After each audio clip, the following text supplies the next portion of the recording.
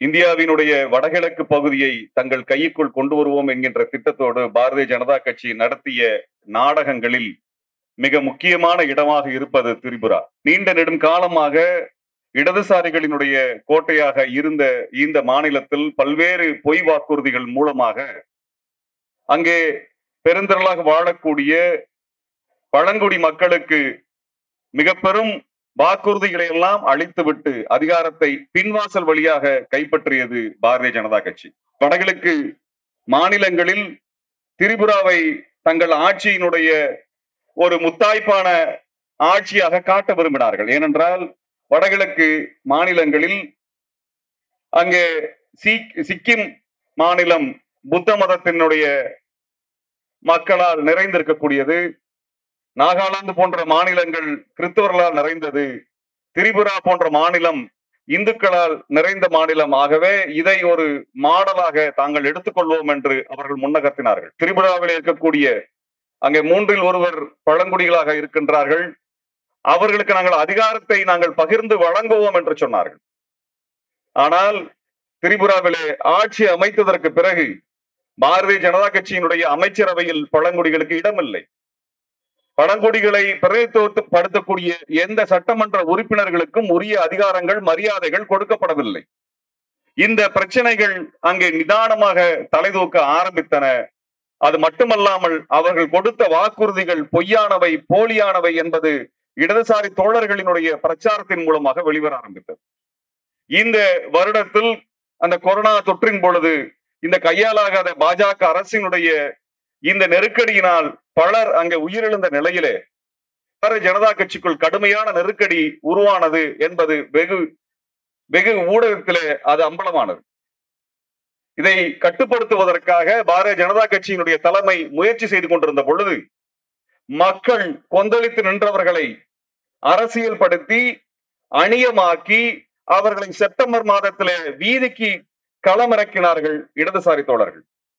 ஆக ஒருபுறம் உட்கட்சி பூசலும் மறுபுறம் நிர்வாக திறமையின்மையும் இன்னொரு புறத்துல பாசிச அந்த மன சிந்தனையோடு அந்த மாநிலத்தினுடைய பழங்குடிகளுக்கான உரிமைகளை மறுத்து எதேச்ச அதிகார ரீதியாக ஆட்சி நடத்திய இந்த பாஜக எதிராக ஒரு மாபெரும் எழுச்சி அந்த மாநிலத்தில் உருவானது.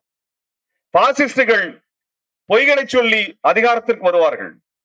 தாங்கள் வலிமை மிக்கவர்கள் என்ற ஒரு போலி பிம்பத்தை உருவாக்குவதன் மூலமாக தங்களை முன்னிறுத்திக் கொள்வார்கள் இந்த போலி பிம்பமும் அவர்கள் வலிமையானவர்கள் என்கின்ற அந்த பிம்பமும் மக்கள் ஆதரவு அவர்களுக்கு இல்லை என்கின்ற உண்மையும் வெளியில் வரும் பொழுது அவர்கள் வன்முறைகளை கையில் தூக்குகிறார்கள்.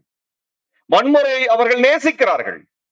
வன்முறை இல்லாமல் அதிகாரத்தை கைப்பற்றி விட முடியாது கைப்பற்றிய அதிகாரத்தை காப்பாற்றி விட முடியாது என்று தெளிவாக இருப்பவர்கள் பாசிஸ்டுகள் ஆக அந்த அதிகாரத்திற்கு கேள்வி வரும் பொழுது மக்கள் திரண்டெழும் பொழுது வன்முறையை மக்கள் மீது ஏவுகிறார்கள்.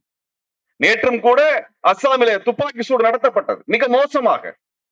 இறந்த ஒரு மனிதனின் மீது ஏறி குதிக்கின்ற ஒரு ஊடகவியலாளர் என்று அடையாளப்படுத்தப்பட்ட நபர் வெளியில் வந்திருக்கின்றார். இது போன்ற ஒரு கொடூரமான செயலை இந்த மண் கண்டதில்லை. வடகிழக்கு மாகாணங்களில் இருக்கக்கூடிய அந்த பாராளுமன்ற ஆற்றல்கள் எல்லாம் தங்கள் பக்கம் கொண்டு வர வேண்டும் என்கின்ற அந்த பாஜகவினுடைய வெறியாட்டத்திற்கு அதிகார வெறிக்கு அந்த மக்கள் பலியாகி கொண்டிருக்கிறார்கள். இந்த வடகிழக்கு மாகாணத்தில் தங்கள் ஆதிக்கத்தை நிலைநிறுத்த வேண்டும் என்றால் அவர்கள் திரிபுராவை தங்கள் கைக்குள் கொண்டு வர வேண்டும். திரிபுராவை கைக்குள் கொண்டு வர வேண்டும் என்றால் அவர் இடதுசாரிகளை கையாள வேண்டும். ஏனென்றால் இடதுசாரிகள் சித்தாந்த ரீதியாக பாஜகவிற்கு எதிரானவர்கள். இந்தியாவில் இப்பொழுது நடக்க நடப்பது என்பது சித்தாந்த சண்டை. ஆளும் கட்சிக்கும் எதிர்கட்சிக்கும் நடக்கக்கூடிய சண்டை அல்ல. அது சித்தாந்த சண்டை. அந்த சித்தாந்த சண்டையை முன்னணியில நின்று நடத்தக்கூடிய இடதுசாரிகளை அவர்கள் வன்முறையின் மூலமாகத்தான் அழிக்க முடியும் என்று நம்புகிறார்கள்.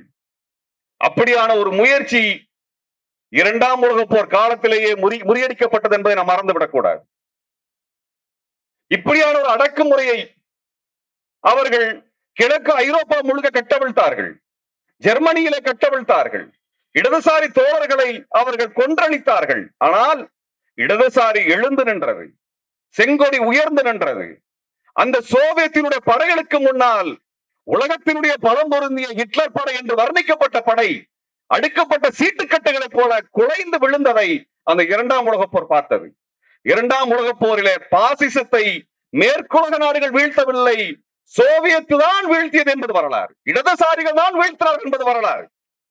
ஸ்டாலின்கிராட் முற்றுகையிலே இந்த இடது இந்த இடதுசாரிகளுக்கு எதிராக நடத்திய அந்த வன்முறை வெறியாட்டத்தை எப்படி எதிர்கொண்டார்கள் என்கின்ற வரலாறை மோடி அரசு படிக்க வேண்டும்.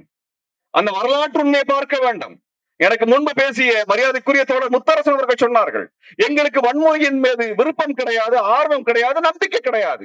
ஆனால் நீ வன்முறை தான் உனது வழிமுறை என்றால் அதை எதிர்கொள்வதற்கு இடதுசாரி தோழர்கள் தயாராகத்தான் இருப்பார்கள் ஜனநாயக தோழர்கள் தயாராகத்தான் இருப்பார்கள். இந்த போலி பிம்பத்தை தான் வலிமையானவன் ஐம்பத்தாறு இன்ச்சு உடம்புக்கு சொந்தக்காரன் என்று சொன்ன உங்களது அரசியல் உடைந்து விழுந்து கொண்டிருக்கிறது.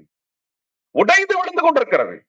இந்தியாவிலேயே முன்னணி மாநிலமாக தமிழ்நாடு ஒரு ஜனநாயக கூட்டமைப்பை உருவாக்கி நிறுத்தி பாஜகவை விரட்டி அடித்தது என்பது வரலாறு. ஆகவே தோழர்களே இந்த வன்முறையைத்தான் அவர் வழிமுறையாக இனிவரும் காலங்களில் கையில் எடுப்பார்கள். ஏனென்றால் அவர்கள் பொய்கள் அம்பலமாகி இருக்கின்றன. அவர்களுடைய வாக்குறுதிகள் பொய்கள் என்று நிரூபிக்கப்பட்டிருக்கின்றன. எந்த இடத்திலும் மக்களுக்கு உணவை தர முடியவில்லை வேலையை தர முடியவில்லை கல்வியை தர விரும்பவில்லை என்கின்ற நிலையில் இந்த பாசிச கட்டமைப்பு சிதறக்கூடிய நிலையில் இருக்கிறது. சிதறுகின்ற தனது அதிகார கட்டமைப்பை பாதுகாப்பதற்காக வன்முறையை மட்டும்தான் அந்த கும்பல் நம்பி நிற்கும். அப்படி என்றால் அந்த வன்முறையை எதிர்கொள்வோம் தோழர்களே. வீதியில் எதிர்கொள்வோம். அவள் எங்கு சொல்லுகிறார்களோ அங்கே எதிர்கொள்வோம்.